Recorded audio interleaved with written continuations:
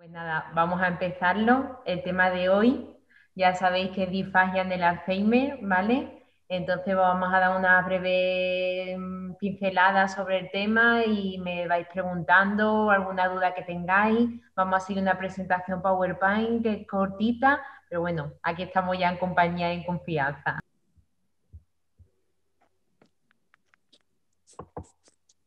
Vale, ahí os estoy viendo las caras. Seguimos conectados.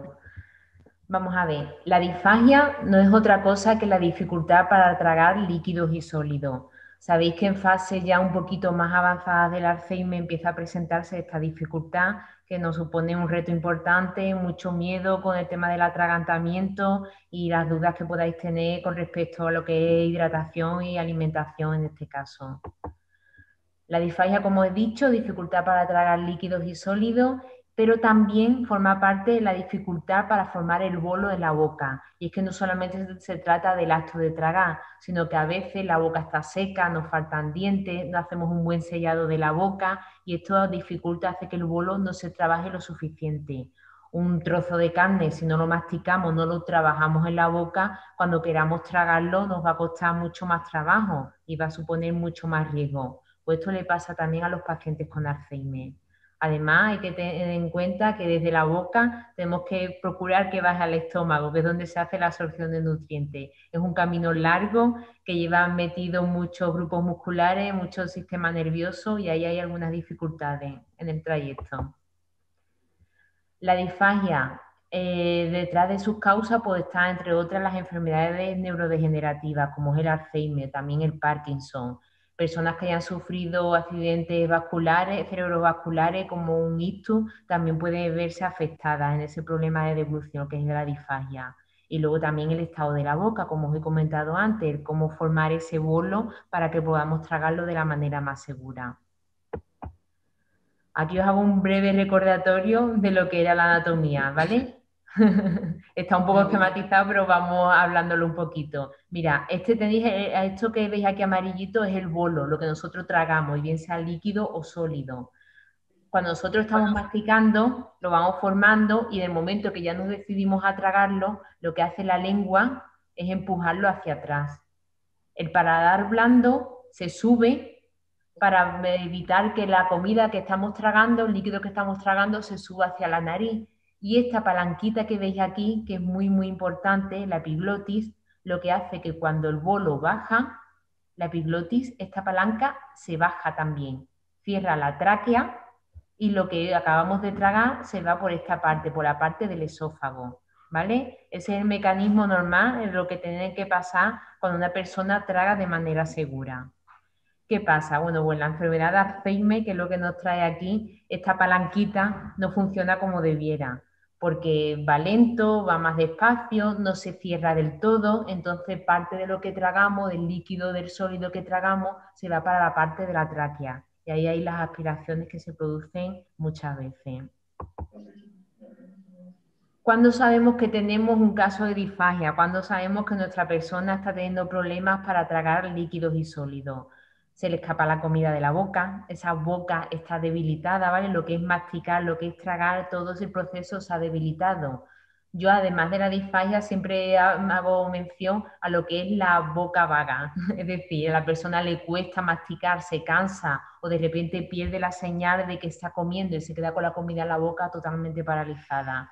Si hace el intento de tragar, le va a costar mucho más retener la comida en la boca porque no se atreve a tragar, su musculatura no responde a la orden de voy a tragar, realizar varios intentos, os, sonará mucho cuando queréis tragar a lo mejor una pastilla que es muy grande y la empujáis y bebéis agua y venga agua y parece que no os atrevéis nunca a tragar la pastilla, pues eso es lo que le pasa también a las personas que tienen disfagia.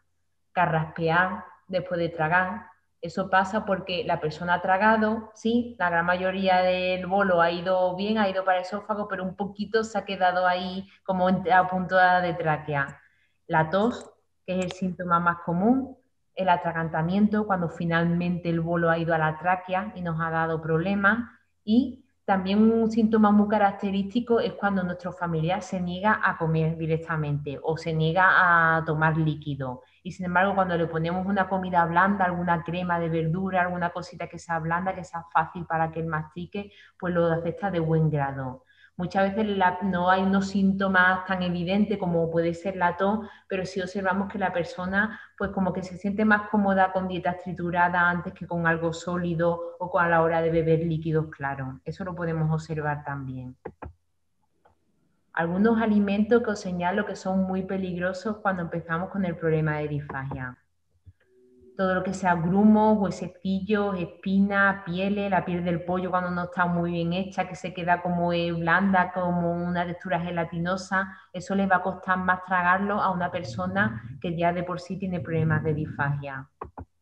Alimentos fibrosos o con hebra, puede pasar por ejemplo con la piña que se desmembrena mucha fibrilla o también con las hojas de lechuga si no queremos renunciar a una ensalada de guarnición, lo que sí podemos hacer es trocear mucho la lechuga, el tomate, que sean hortalizas frescas, crujientes, y juntarlas con un poquito de salsa. Eso hace que la ensalada se quede como algo compacto, algo unido, y no tiene tanto problema para tragarlo, no hay tanta dificultad, y su deglución es mucho más segura los alimentos pegajosos como los quesitos, los caramelos que son blandos, se quedan agarrados al paladar y cuesta mucho trabajo digerirlos también. Los alimentos secos y duros como los frutos secos, ese es el alimento por excelencia. Los que sueltan mucho jugo al morderlo como los gajos de naranja, vosotros cuando mordéis un gajo de naranja os pasa que lo mordéis, el líquido se suelta, os tragáis el líquido de la naranja, pero la piel de la naranja la seguís trabajando en la boca, ¿verdad? Una persona que tiene disfagia, lo que le pasa es que el líquido se le escurre con mucha facilidad, ese epiglotis no funciona a tiempo, se atraganta con el líquido, la piel no se desliza con mucha facilidad, hay mucho riesgo ahí. Y por último, también señalaron es el primer de los primeros, digamos, productos que nos va a indicar que hay un problema de disfagia, los líquidos claros, el agua, ¿vale? Y también los platos que mezclan líquidos y sólidos. ¿Por qué con el agua nos vamos a dar cuenta antes de que nuestro familiar tiene un problema de disfagia, que está tosiendo más de la cuenta cada vez que bebe? Porque los líquidos pesan menos, se escurren con más facilidad y esto hace que la epiglotis, esa palanquita tan importante que tiene que cerrar tráquea y hacer que todo pase al esófago, pues no se pronuncia, no tiene tanta reacción, digamos, no hay tanta presión hacia ella con un líquido. Entonces es más fácil que el líquido se vaya por tráquea y la persona empieza a toser. Los platos que mezclan líquidos y sólidos, por ejemplo, una sopa. El tema de la sopa nos gusta mucho nuestros mayores, son platos muy digestivos, una buena cena, ¿verdad? Sobre todo ahora que ahí en invierno hace tanto frío, apetece más pero cuando hay problemas de disfagia, cuando la persona tiene dificultad para tragar, esos platos están poco recomendados, porque la idea es que lo que la persona coma vaya lo más homogéneo posible dentro de esa boca. Si yo me tomo una sopa con fideo, por un lado está el caldo de la sopa y por otro lado está el fideo, que lo tengo que morder un poco. Eso es doble trabajo. Entonces, la persona con disfagia hay que hacerle más sencillo lo que la comida cuando se la metemos ya en la boca. Hay que dejársela ya un poquito más trabajada, por así decirlo. Cuidados a la hora de la disfagia, principalmente. Cuidar mucho el tema de la postura. La postura correcta a la hora de comer es la postura recta. Que mi cuello, ¿vale? Si me lo veis aquí, esté recto. La boca con el resto de mi cuello en un ángulo de 90 grados porque eso va a facilitar que la deglución se haga de la forma más segura posible. Evitar lo posible, ¿vale? Que la cabeza esté inclinada hacia detrás. Os hablo de pacientes con Alzheimer que estén en una fase más avanzada, que tengan mucha rigidez muscular, que sea difícil mantener los restos en la silla. Sobre todo, mucho cuidado con que la cabeza no esté hacia atrás, porque cuando la cabeza se nos va un poquito hacia atrás, la vía aérea se abre más entonces es más fácil que lo que tomamos se nos vaya por vía aérea. Por el contrario, si tenemos un familiar que le está costando trabajo tragar, si en el momento de tragar se inclina la cabeza un poquito hacia adelante, lo que hacemos es el efecto contrario. Cerramos más la vía aérea y facilitamos que el líquido o la comida vaya a esófago, que es lo que queremos, ¿vale? Además de la enfermedad de Alzheimer, si estamos hablando, por ejemplo, de una persona que le ha dado un ictus y que tiene, por ejemplo, paralizada su parte izquierda del cuerpo, es importante que inclinemos un poquito la cabeza hacia el lado contrario. ¿Por qué? Porque el lado que sí no funciona, el lado que está activo, si inclinamos un poquito la cabeza hacia ese lado, vamos a procurar que la persona coma por el lado que le funciona y también la deglución sea por la parte que tiene sana, que está activa, que va a responder mejor y por lo tanto es más seguro que trague, ¿vale? Son algunos de los consejos posturales que os puedo dar. Y fundamental, por si no los conocéis o ya tenéis uso con ellos, en los líquidos y utilizando espesantes, ¿vale? Y la comida la vamos a ir adaptando. Muchas veces comento con la familia cuando a lo mejor después de un ingreso hospitalario se le ha dicho a la persona que tiene disfagia o que tiene que comer dieta triturada porque es más seguro. A ver, cuando hablamos de un ingreso hospitalario puede ser que la persona todavía necesite un tiempo para recuperarse y alguien que comía dieta normal puede volver a comer dieta normal con un poquito de cuidado, con precaución, con ir adaptando la dieta poco a poco. La idea es que se presenta la disfagia y no del tirón todo tiene que ser triturado. No del tirón hay que darle espesante los líquidos con idea de que el líquido se convierta en una pasta, ¿vale? Eso se va adaptando según las necesidades de la persona.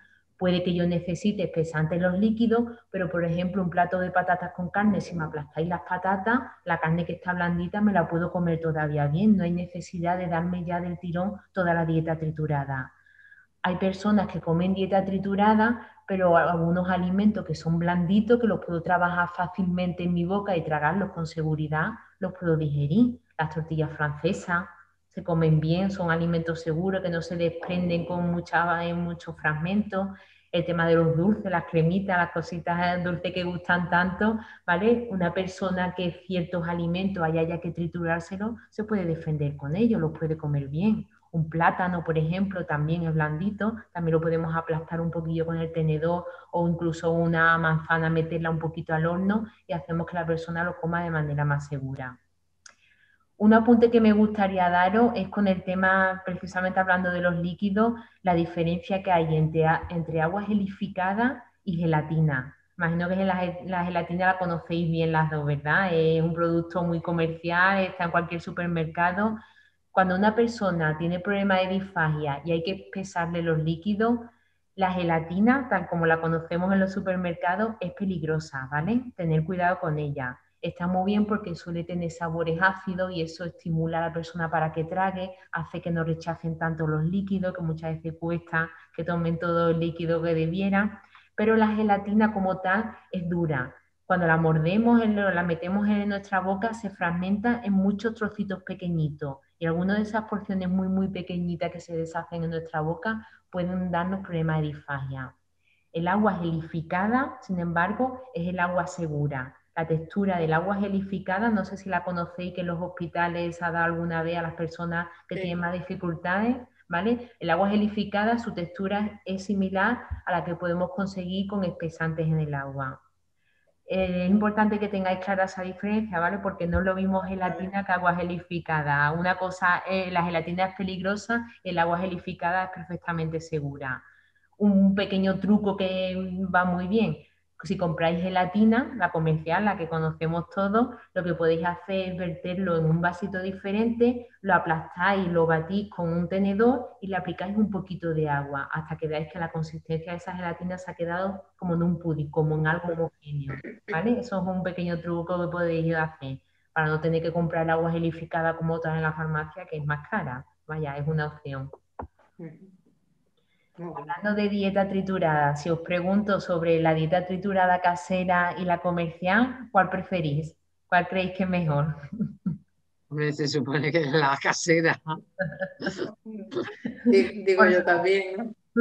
Lo que pasa es que una da más, trabajo que otra. Ahí va, ahí va, una cosita. Ahí está la diferencia. Las dos tienen sus ventajas, ¿vale? Las vemos.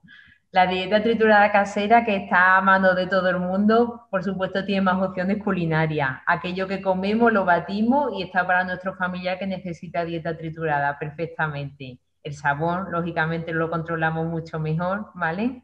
Es más económico, sencillamente lo que tengo en la olla, una porción va para mi familia que necesita dieta triturada por disfagia y también más opciones de textura.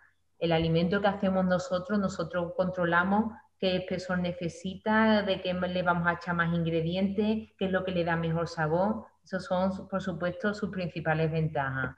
Pero la comercial también tiene sus cositas. la comercial tiene algunas ventajas como las que os señalo ahí. La primera es que asegura los nutrientes. Si yo os digo que ese potito tiene, por poneros un ejemplo, 20 gramos de proteína, podéis estar segura de que cuando nuestra familia se termine ese potito, habrá consumido 20 gramos de proteína. Al no tener que manipular el alimento, es también más seguro, ¿vale? Y luego la conservación, obviamente. Esto se asemeja un poco al tema de los potitos con los niños pequeños. Es muy cómodo. A veces no tengo el recipiente adecuado o es más engorroso llevarme mi comida triturada o no he tenido tiempo de cocinarla y se recurre a la parte comercial. Es también perfectamente aceptable. Si os digo que los sabores, yo los he probado los dos, no son tan currados como el de la casera. Y si encima estamos con una persona que le cuesta comer, que su apetito decae un poco, pues quizás el potito comercial le cueste más. Hablando de potitos, recuerde una cosa, ¿vale? No utilicéis nunca potitos de alimentación infantil. Hablamos de alimentar a personas adultas y hay tarritos, hay potitos para personas adultas. Eso tenerlo muy en cuenta, porque me llegan muchas veces los familiares con los potitos y claro, lo más comercial, lo que más se vende, lo que más a la orden del día está, es para el tema infantil, para alimentación infantil pero estamos alimentando a un adulto y sus necesidades son otras. Siempre buscar, buscar productos que sean para el adulto, ¿vale? Vale. Algunas recomendaciones que os doy también con la dieta triturada, variar la elección de los alimentos.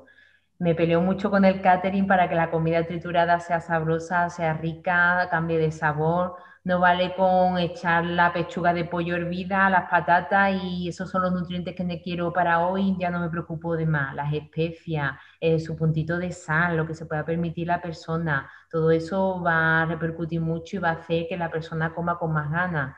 Ya sabéis que comemos mucho con los ojos, entonces la dieta triturada, que en aspecto es más homogéneo, más aburrida, vamos a cuidar también esa presentación dentro de lo posible. Os señalo lo de vigilar la necesidad de aportes nutricionales. Tenéis que tener en cuenta una cosita, con la dieta triturada, cuando hablamos de la parte proteica, lo que son las carnes principalmente, a la hora de triturarla pierden parte de su valor nutricional. Y la parte proteica es muy importante no perderla nunca de vista. Si hablamos de una persona con Alzheimer que tiene problemas de disfagia ya serio, que necesita completamente una dieta triturada, estaremos hablando también seguramente de una persona que tiene una movilidad más reducida. Sabéis que a movilidad más reducida, más tiempo de apoyo, más riesgo de úlceras por presión, ¿verdad? Las úlceras, muy importante que la parte proteica en la dieta esté altita, esté bien mantenida para que esas heridas que se puedan formar, esa piel esté siempre en perfectas condiciones. Más cositas que os señalo de la dieta triturada para hacerla segura en los problemas de disfagia. Evitar los grumos, filamentos, espinas, huesos, obviamente. Los espesantes también si precisa. Puede ser que la receta que tengáis ese día no la hayáis echado patata, la hayáis echado otra cosa y os quede demasiado líquida la mezcla. Puede ser perfectamente los espesantes, tanto en los líquidos, se puede echar también en los alimentos, en el plato de comida el queso, la mantequilla, son aliados que podéis aplicar perfectamente. Os dan dos cositas, se mejora el aporte nutricional, el aporte calórico de las dietas y luego el sabor lo enriquece mucho, lo hace mucho más rico.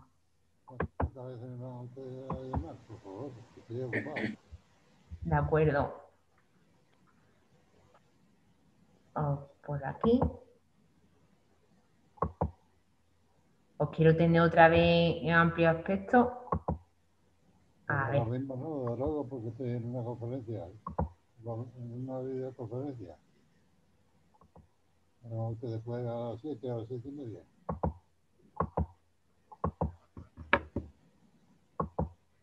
Ahora, por lo menos tengo las tres caritas, que ya la lía un poco aquí con el vídeo. bueno, esta es la presentación que tenía para esta tarde preparada con el tema de disfagia alguna pregunta que tengáis, alguna cosita que queráis aclaración, algún tema que queráis comentar, estoy aquí a vuestra disposición. Yo del tema de, la disfagia, bueno, más o menos bien. Lo que tú has comentado del tema de los nutrientes en relación con, por ejemplo, con las escaras, porque mm, la pongo de un lado, le sale una herida en un sitio, la pongo de otro, le sale en otra. Y yo ya no sé, le curo una, le sale otra. Ya no sé lo que hacer. Bueno, la verdad. Lo que comentaba de la parte nutricional, no sé si tu familia come dieta triturada, está con dieta triturada. Ya está comiendo ya dieta triturada porque ya le he quitado los dientes. Vale, vale. Mm. Me he dejado sin dientes porque digo, es una tontería que esté en casa con los dientes que si... No lo está usando realmente. Claro, mm, por eso, si le das algo de masticar, se tira una hora y no come. Y digo, mira, mm, ya triturada, se acabó. Vale, por lo que te comentaba. también el agua gelificada, la estoy combinando una cosa con la otra, le doy de beber zumo, le doy de pero claro, yo qué sé. Perfecto. Para el tema de lo de las heridas, pues no, vamos, la costa de lado porque tenía dos en el culete y ahora cuando la, voy, digo, ay, si le ha salido una en el brazo que ha apoyado. y así ando.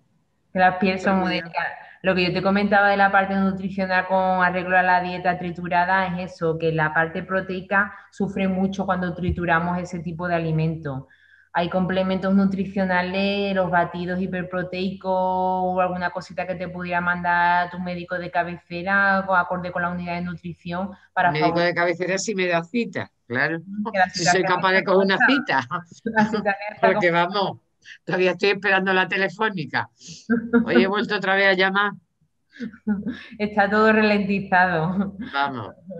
Eh, a ver, cuando hay que dar algún aporte especial, hablando de nutrición, ¿vale? Cuando hay que dar algún aporte especial a una persona por circunstancia, bien sea por la aparición de úlceras para protegerla mejor, hay que hacer una analítica, hay que hacer una valoración nutricional de la persona, que eso lo puede hacer perfectamente la enfermera de tu centro de salud, y con eso se manda a la persona nutrición. las úlceras no deberían de aparecer con los cuidados que le estás dando. Estás haciendo los cambios posturales, estás haciendo todo y habría que ver analíticamente si todas las proteínas, todos los nutrientes que ya está tomando realmente los está asimilando. Esto muchas veces se lo comento a la familia cuando estoy hablando del área de nutrición porque nosotros vemos lo que la persona come, lo que está tomando gracias a nosotros en ese momento, pero ahora también depende de que esos nutrientes realmente se generen y se metabolicen en el cuerpo de la persona. Hay gente que come estupendísimamente y sin embargo no hacen otra cosa que perder peso. Eso me ha pasado también con algunos familiares. Como señalarte de cara a la úlceras por presión la parte de proteína, esa es importante, ¿vale? Vale, vale. Perdona, ¿y cuántas proteínas más o menos debe de tener un plato? ¿El 50% o cómo va en los mayores? Vamos a ver, el 50% del plato popularmente se suele dejar a los hidratos de carbono, que son un suministro de energía rápida. El otro 50 es el que se divide entre la parte proteica, yo le dejaría otro apartadito a la parte proteica y la parte de verduras, que son las que nos van a dar vitaminas, minerales. Añadiría también incluso una cuarta parte para el tema de legumbre, que son también proteínas, aunque de origen vegetal, pero muy complementarias. Lo que viene es un plato de lentejas con su carne, con su arroz y con sus verduras, eso sería algo completo. Imagínate, completo, pasa mucho con la dieta triturada, que claro, cuando trituramos los alimentos se quedan nada, parece que la comida es irrisoria y a lo mejor hemos triturado un plato consistente, eso tenerle un poquito de referencia. Si os coláis un poquito con la carne no pasa nada, al contrario, tened en cuenta que eso al triturarla va a perder valor nutricional y dais una pechuga de pollo, pero al triturarla se queda menos y si encima hay úlcera o hay riesgo de úlcera, pues con más razón. No se trata de volvernos locos con la proteína. Eh, si hay personas que tienen problemas renales, hay que tener cuidado también con los niveles que le metemos de proteína. Eso primero habría que ver cómo está analíticamente hablando la persona, cómo va su nivel proteico y que ya el médico de nutrición diga, pues mira, vamos a mandar un aporte porque se queda corta a pesar de la dieta, vamos a mandar un batido hiperproteico o voy a recetar estos suplementos, son como unos polvos totalmente insípidos que se ponen en la comida y son polvos de proteína básicamente para enriquecer las dietas. Ya digo que el tema de la dieta triturada suele hacer falta complementos proteicos porque es el gran nutriente que más afecta en este tipo de dietas, que se queda más deficitario. ¿Vale? Vale, vale, vale. Bueno, Pues nada, las, muchísimas gracias. ya una, las proteínas serían las que, por ejemplo, toma muchísima gente con el tema del deporte. Esa serviría. Ahí sí vas a vas a echar músculos ahora. Te ha preguntado. Esos complementos no los conozco yo tanto y me extraña que solamente lleven para generar proteína. También son muy Yo por lo calóricos. que escucho, yo de verdad, yo no lo sé, pero dice, me tomo no sé qué de proteína. Y digo, yo servirán si son, como tú dices, unos polvos que no dan mm, sabor. Digo, será por echarle dos o tres cucharadas. No creo yo que sea la cosa tan sencilla. Lógicamente te hablo de productos enriquecidos, que bien si es algo, digamos, no muy complejo nutricionalmente hablando, te lo puede pautar en un momento dado tu médico de cabecera y si es algo ya más delicadito, la área de nutrición. Ten en cuenta que hay muchos batidos hiperproteicos, por señalarte el producto más común o más conocido que manda nutrición. Hay personas que tienen problemas renales, hay personas que son diabéticas, hay personas que tienen estreñimientos crónicos y esos batidos va con aporte de fibra. Cada uno tiene el suyo, ¿vale? Y según la carencia que tenga la persona y sus características, pues el médico determinará, oye, mira, pues dos batidos al día o un batido si un día no hace una comida en condiciones o este batido la mitad después del almuerzo, la otra mitad después de la cena. So, cada persona es diferente, hay que saber Yo estuve valorar. dándole un tiempo lo de Meritene, pero ya después lo de dejé. Voy a tener que empezar otra vez. Los sobre eso de Meritene que eran como un batido. Ay, Yo he utilizado aquí mucho en el centro de la misma marca, vamos, el Meritene, lo que son los polvos para hacer gelatina, que no hago gelatina, sino que hago un poquito, lo reduzco un poco más el polvo y hago agua gelificada. Me viene muy bien para los pacientes que están más avanzados y que no quieren líquido, que le cuesta mucho beber, o que a lo mejor tienen el apetito malo, porque son polvos de, para hacer la gelatina de fresa, de limón, de naranja, y los sabores que son así más ácidos estimulan Sí. mucho la deglución, viene muy bien. En ese aspecto sí. Y son, mira, la marca Meritene, esos polvos en particular están ya enriquecidos en proteína. No sé, no, lógicamente no estamos hablando de una cantidad que podamos hacer un daño renal ni que de repente le vaya a resolver todo el problema proteico, pero como complemento a una dieta triturada, convencional, normal, en la que echáis unas porciones de carne, por decirlo así, normales, no estaría de más, ¿vale? Sería un buen añadido. Vale, vale, vale. Muy bien. Pues nada, Gonzalo y Carmen. Hola. Vale, muchas gracias. Me tenéis, aparte de este encuentro, ya sabéis que aquí de lunes a viernes estoy para lo que necesitéis, ¿vale? Así que nada, un saludo y Pues muchas nada, hija, gracias. muchas gracias a ti. Muchas gracias. Adiós. Hasta luego.